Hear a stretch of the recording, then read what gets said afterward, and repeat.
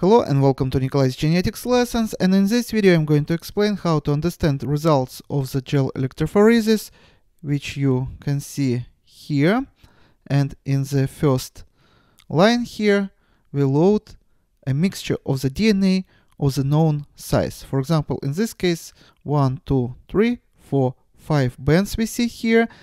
And when we load this mixture here, we already know the sizes of all bands. So we call this reference ladder.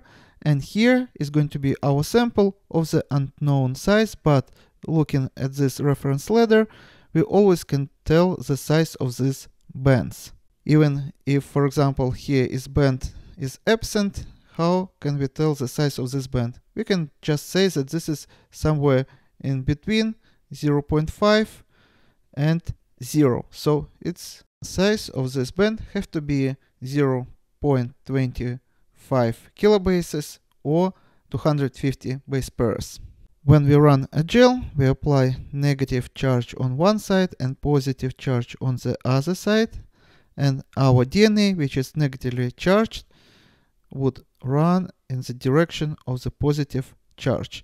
And uh, the bigger the molecule, the smaller distance it's going to travel from the well uh, loading well. And the smaller molecule, then the greater distance it's going to travel. So we will find smaller molecules closer to this side and the bigger molecules we can find closer to the beginning, closer to this side.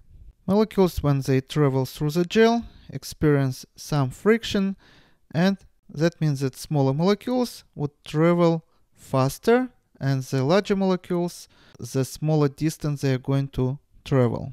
So now let's check the first question, line that shows the results for running sample 1 only.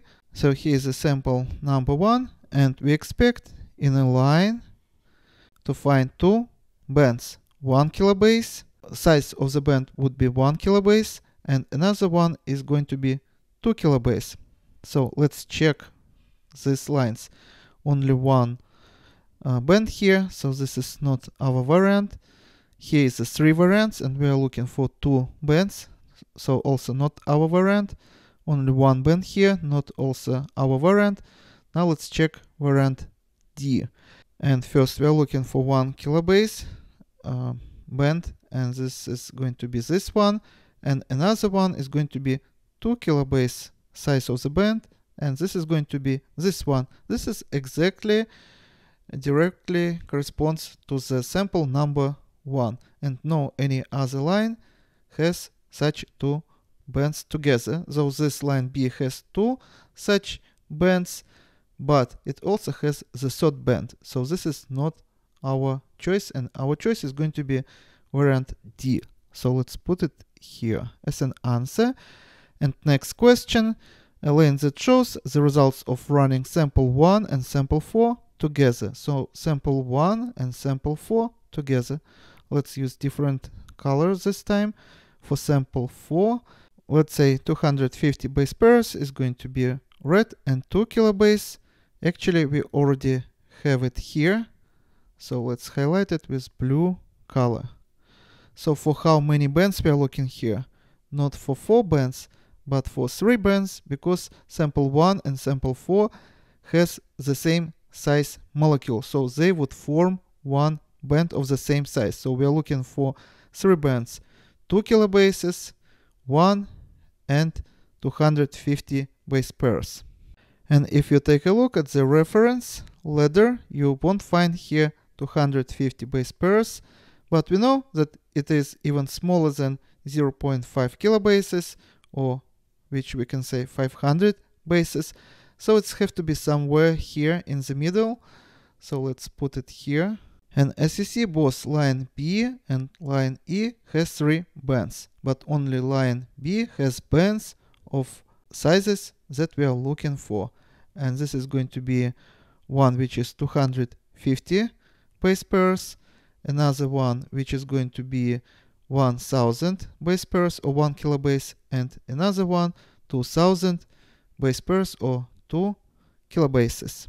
So our answer for the second question is going to be variant B or line B.